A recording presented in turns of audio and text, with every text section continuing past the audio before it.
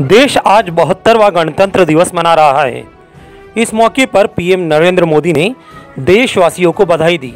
PM Modi के साथ साथ कई नेताओं ने भी गणतंत्र दिवस की बधाई दी है। गणतंत्र दिवस पर होने वाली परेड में देश की सेना की ताकत की झलक देखने को मिलती है। इस बार गणतंत्र दिवस के मौके पर राफेल विमान को भी परेड में शामिल किया गया।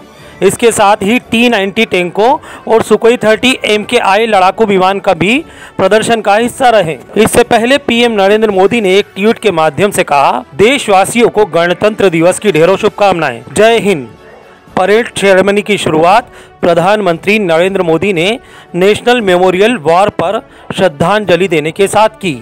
इस बार परेड को लेकर विशेष तैयारियाँ की गई। कोरोना वायरस के चलते परेड काफ़ी अलग अंदाज में हुई। राजपथ पर हुई परेड में हमेशा की तरह सैन्य ताकत, सांस्कृतिक विविधता और सामाजिक समरसता की झलक दिखाई दी।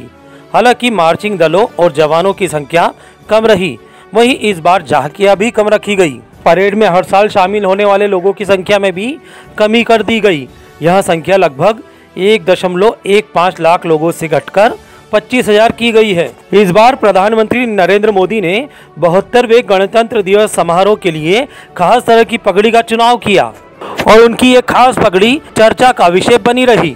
उन्होंने इस बार गुजरात के जामनगर की खास पगड़ी पहनी। न्यूज़ एजेंसी एएनआई के मुताबिक, जामनगर के शाही परिवार की तरफ़ से ऐसी पगड़ी उन्हें तोहफे में दी गई थी। पीएम मोदी हर साल गणतंत्र दिवस पर अलग तरह की पगड़ी पहने नज़र आते हैं। पिछले साल उन्होंने बंदनी पहनी थी, जो कमर तक है। केसरिया रंग की पगड़ी में पीला रंग भी समाहित था। 2015 से लेकर अब तक हर साल गणतंत्र दिवस पर मोदी खास तरह की पगड़ियाँ पहने दिखे हैं।